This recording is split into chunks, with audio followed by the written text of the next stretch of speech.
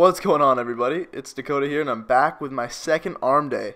And first of all, I just want to say I'm sorry that it's been so goddamn long. Um, I don't know. I just I, I got home for summer vacation, and it was old footage, and I just couldn't quite force myself to uh, go back and do it. But screw it, it's coming out now, and here we go. So our first superset is incline skull crushers supersetted with alternate hammer curls, and I personally love the superset because for me it's just it's it's the big one. It's the the heavy one. Although a lot of five sets of twelve take place in my arm workouts because I feel that that's a really great range in terms of volume and uh, for hypertrophy.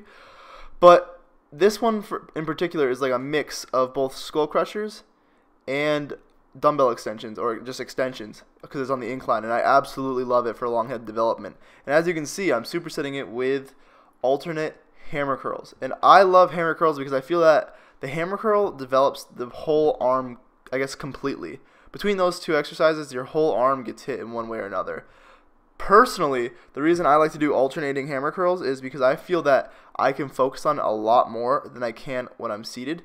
And as you can see, I mean, uh, as when I do them together, and as you can see, I'm not swinging a bunch. I'm pausing at the top, I'm pausing at the bottom, making sure to get that full contraction, and I'm not really as worried about the weight as I am about trying to make sure that I feel it in the muscle that I want. And that's your brachioradialis, which is see your forearm right there, right next to the elbow. That runs up into your bicep, and that's a large piece of your arm that most people neglect. So that's definitely a big reason that I hit hammer curls at least once a week. And that leads us into our second superset, which is one arm dumbbell extensions superset with spider bar curls. And as I said before, I this is old footage, but I personally really like to hit a lot of long head exercises or long head oriented exercises because my tricep is not very impressive. It's not very large, it's not very thick. It just it's pretty much lacking in all regards. So for me, the way that I try to develop that thick, strong tricep is I hit a lot of overhead movements and a lot of movements that target that long head of the tricep. And as you can see, that's supersetted with spider bar curls. And these in particular, you really want to not focus on the weight. As you can obviously tell, my arms are not my strength, and I'm doing everything I can to bring them up. And part of that is taking out all the other muscles that usually work when you do things such as curl or like a tricep pushdown. And this exercise in particular really just takes out everything else. It's just strictly bicep. You go all the way down, contract that tricep at the very end, and then come up and pause the top with a maximum contraction there as well. And I just, I literally love these. This is probably one of my favorite exercises in terms of just absolutely destroying my biceps. And that leads us into the next superset, which is tricep machine dips with dumbbell shrugs. And I guess the only thing to really say about machine dips or just dips in general is if you want to hit your triceps, don't worry about going too too deep and make sure you get a massive contraction at the bottom while keeping your elbows slightly tucked if you start to flare your elbows and get that really, I guess, heightened range of motion, you tend to start to orient your chest towards the movement rather than your arms. And I mean, if that's your goal, do it. But particularly in this exercise for me, it wasn't. So I made sure to focus on that contraction and to really hit that, not minimal range of motion, but that middle ground, if you will. And that brings us into dumbbell shrugs. And for shrugs on, uh, as far as shrugs on arm day, I lack in like my traps, especially as you can probably tell. So I really like to throw it in as kind of that alternative muscle group on my arm days. So I bang out five sets of 15 in shrugs, really light, just work on that contraction at the top. I lean my head slightly forward to make sure that I get a bigger squeeze, which is something that you guys can all try.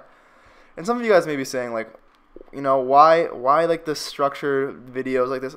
I'm saying about to say screw it. I'm about to start uploading vlogs with my daily routines in them. Have friends record me. Fuck it. We're gonna take this shit to the next level. So I want you all to really stay tuned and watch what is to come because I'm going to do absolutely everything in my power to make sure that I bring you nothing but the best content. And after this long ass set of shrugs finally finishes, it's gonna bring us into our last superset, which is preacher machine curls supersetted with narrow upright rows. And again, it's 12 for the arms and 15 for the traps.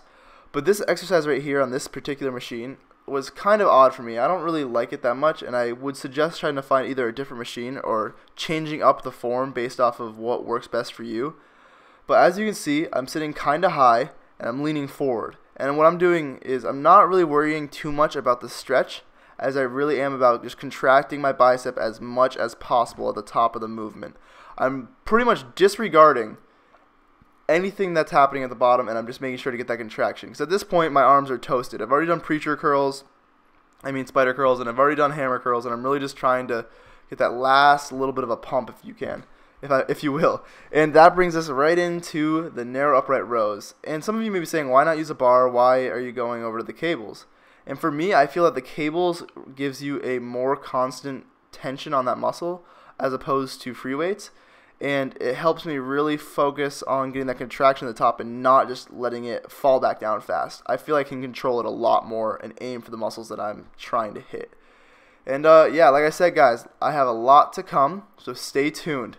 If you have any suggestions, please feel free to leave them below in the comment section. I'm always glad for feedback. Hope you enjoyed. Until next time. You know I want it, I need it, don't doubt it, I can't live without it. This is everything I've dreamed of, it's everything I've ever wanted. But is it really truly in my plans? Or did God mix up my blueprints?